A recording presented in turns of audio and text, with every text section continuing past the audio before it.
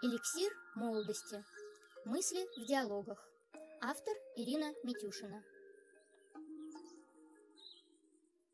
Скажите, дорогуша, в чем секрет вашей молодости? Я вижу, вы очень хорошо сохранились для ваших преклонных лет. Да нет никакого секрета. Я просто принимаю эликсир молодости. Батюшки свет, а я смотрю и вижу, что вас, милочка, и гадат не трогают совсем. И никак не могу понять, как такое возможно. А оказывается, все дело в эликсире. А могли бы вы поделиться со мной, где же вы покупаете это чудодейственное средство? Прошу прощения, но вам его не купить. Отчего же вы изволите быть так уверены? К вашему сведению, я достаточно состоятельная женщина, и я могу себе позволить купить все, что угодно. Говорите же, как на духу, где продается сей эликсир? Я незамедлительно отправлюсь туда и приобрету его, сколько бы он ни стоил. Видите ли, дело не в деньгах и вашей состоятельности.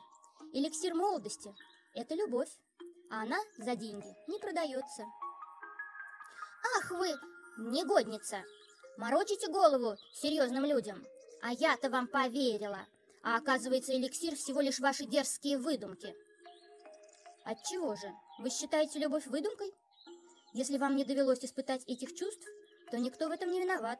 И не следует делать вывод, что эликсира не существует. Ну, допустим. Предположим, я вам поверила. И что же, вы хотите сказать, что любовь останавливает старость? Безусловно, это неоспоримый факт. Но у эликсира молодости есть один побочный эффект. От него нельзя отказаться. Ведь любовь посылается нам свыше. Отказавшись от нее, начинаешь стареть душой. И также есть одно обязательное условие. Этот эликсир нужно принимать вдвоем. Ну уж это совсем никуда не годится. Как же я могу заставить другого человека принимать этот эликсир? Вот в том-то все и дело, что никак. Принимать эликсир молодости – выбор добровольный.